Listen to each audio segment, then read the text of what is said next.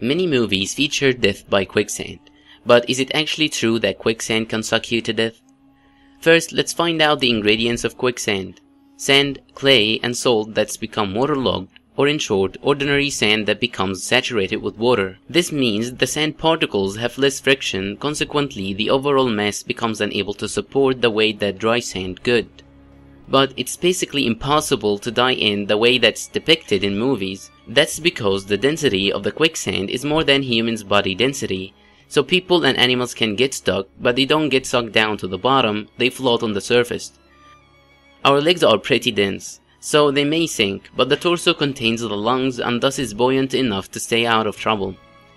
Daniel Bonn from the University of Amsterdam recreated quicksand for an experiment.